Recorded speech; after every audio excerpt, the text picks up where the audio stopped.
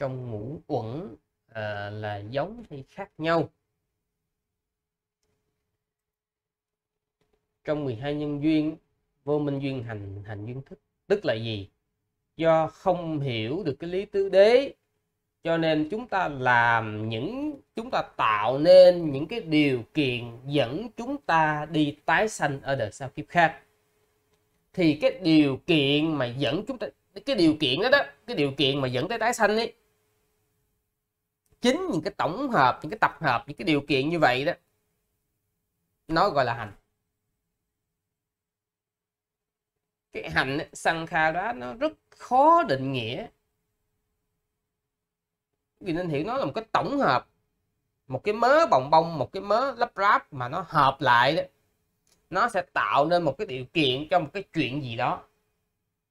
Ha thì bản thân cái sự mà tập hợp đó, đó gọi là hành thì trong 12 nhân duyên thì cái thằng hành nó có ý nghĩa như vậy.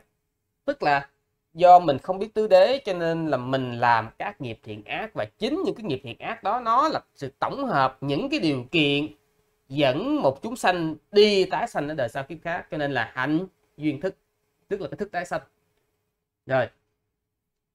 Còn hành ở trong uh, thọ tưởng hành thức thì cái hành đó đó nó lại mang ý nghĩa là nghiệp. Tức là cái khía cạnh thiện ác của mình. Nha. Đấy. mà thực tế thì cái hành ấy hai cái anh chàng này thì nó cũng gần giống nhau. Tức là uh, cái hành trong 12 nhân duyên ấy, quý vị hiểu nó là cái việc thiện ác cũng được bởi vì chính cái nghiệp đó, đó cái nghiệp thiện ác nó dẫn chúng sanh đi đầu thai cho nên quý vị hiểu như vậy cũng được ừ. nên hành đó, nó có hai nghĩa một là bản thân cái sự tổng hợp nó là hành cái nghĩa thứ hai nó đồng nghĩa với nghiệp.